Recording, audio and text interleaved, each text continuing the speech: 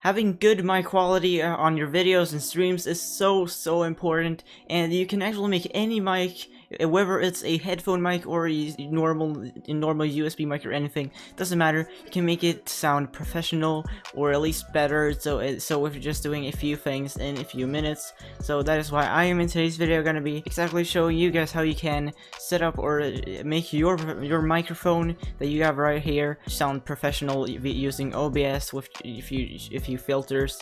So if you do find any of this helpful, then why not subscribe to the channel with the bell notifications on to not miss a single tutorial that I make. Uh, that will mean a lot, and also leave a like on the video if you find this video helpful. With that said, let's get started into the video. So the first thing you want to do is open up OBS. It doesn't matter, OBS Streamlabs, OBS, OBS Studio, it honestly doesn't matter, it's the same process. So, and when you have opened up OBS, go to down to sources and add your mic if you haven't already. So, I'm gonna add an input to capture, which is my mic obviously, and device, select whatever mic that you want to use. I have my HyperX Quad Quadcast that I am talking in right now, so I, I will add that and then hit OK. When you have your mic added to your OBS, you want to um, add some filters and stuff to it. So what you want to do is right click the source, well your mic source, and then hit filters. This will take you to all the filter menu of OBS and here from here you can you want to add a few filters. So first filter that you want to add is compressor. Now you hit OK on, on it, and you honestly don't need to do a lot of things with the compressor, unless you you really need, you know what these do and you know you, you know what settings that you want to have. Um, but otherwise, you honestly don't need to change anything. This will make your voice really come through a lot smoother and better, and it will change up the audio a bit. But that's a good in a good way, of course. And uh, when when we have the compre compressor done, then what you want to do is add a noise gate or a noise suppression. Now they are down here uh, next to each other or on top of each other and I'm gonna explain to you what what the difference is between them so basically noise gate you want mainly only have this uh, if you have a very noisy background in very a very rushed house with a lot of people in the, in the background then basically it, it, OBS will only pick up your voice or the voice that is well basically closest to the mic that it can catch up.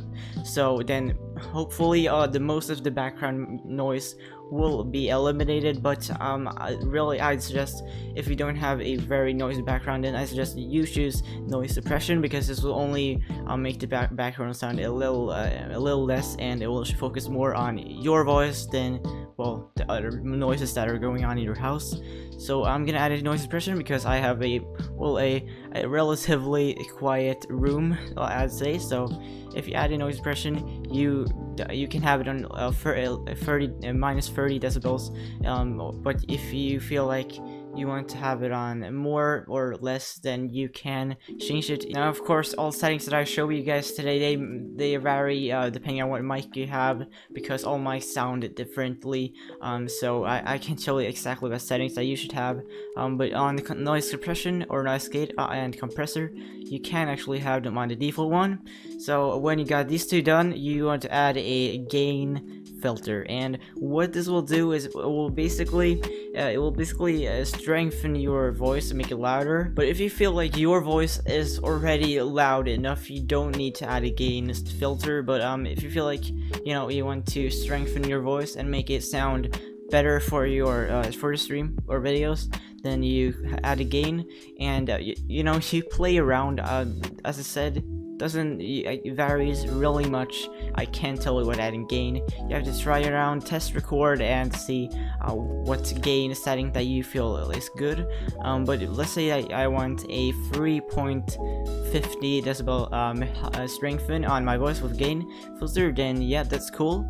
And but basically basically the gain filter will take over your voice and make it sound a uh, well stronger. And in some cases if you're maybe maybe scream in your microphone or something or maybe to come too close then then the the great gain will make it sound horrible for your viewer honestly so, so to kind of take away that little um, ear rape or wh whatever you want to call it you want to actually add a limiter and this and this will basically eliminate the gain when it comes over a threshold I think. I'm not really too educated in the OBS filters but I think that's how it is. So if you add a filter a limiter then um, there's one last thing that you want to do here with the filters and that is to change the threshold threshold to whatever gain you had with well minus. So um, here we had 3.50 or 3.5.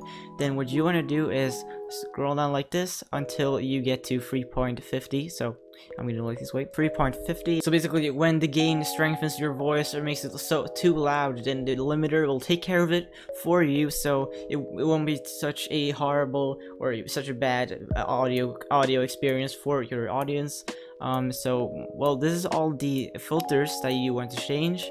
Um, you can you're free to close this. Now, as I say, you obviously want to test record your voice in, in OBS and just feel around with and try around with settings and see if it sounds good. If it doesn't sound good, change a few things and uh, then come back come back and test record. You can uh, and one thing that you might want to do is if the if if here the audio mixer if the audio goes up to the red over here, you actually want to um, make it uh, you want to actually lower the volume a little bit, not too much, uh, because obviously it's your voice. You don't want to lower it so your audience can't, hear it, but um, you get what I mean. So so basically, it's not too loud.